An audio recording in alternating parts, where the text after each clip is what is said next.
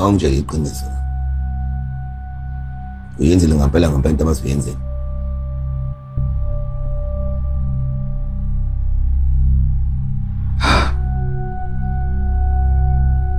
indaba Ngoba bengifuna ukwenza umshado wabo ungenzeki. Ngithi siyabona manje sikufake manje. Imesi yonke phela manje le. Kancane khona ungikhiphe la. Akukhulula ngalendlela ucabanga ngayo. Mangikhulula kancane ngicela ungikhulumele nobaba.